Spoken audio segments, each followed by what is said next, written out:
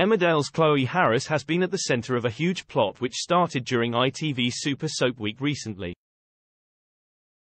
Emmerdale fans couldn't help but point out what they considered to be a blunder in the current plotline following Monday's episode. Fans of the ITV soap know Chloe Harris narrowly escaped death recently, following a horror crash alongside Mackenzie Boyd and Charity Dingle. Mac chose to save his ex-wife Charity and left Chloe in the car, which plunged off a cliff and left her in a coma.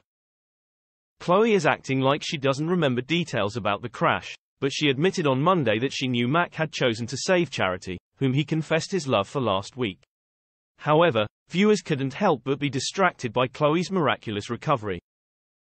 Taking to X, formerly Twitter, Lady Lozzie wrote, I want some of whatever patients get in hospital. How is Chloe walking on crutches so soon after her life-saving brain surgery? Mike Priestley echoed this, posting, Chloe rolled down the cliff then rolled on the field. Intensive care and out of hospital this quick. Only Soapland. Lynn Hartley added, Chloe's done really well seeing as she was at death's door. I can't watch Emmerdale at the moment with this crash storyline. It's so poorly done, Shaki Tucker penned, adding, of course Chloe, the other two, could survive a car crash that would kill anyone, then the car falls off a cliff but amazingly is one piece, she lives and is out of hospital in a week. Soaps Hey. YVY Lou pointed out, oh wait. Chloe is out of hospital already. I thought she has a fractured pelvis.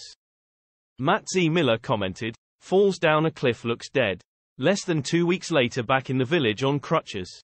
Local hospital miracle workers wow. Chloe admitted to sister Amy Wyatt that Mac had cheated on her with Charity, which Shed found out just before the crash.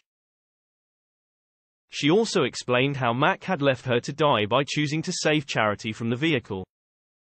She seemed undecided on what to do about Mac's choices, but some fans think she could be biding her time in order to plot the ultimate revenge.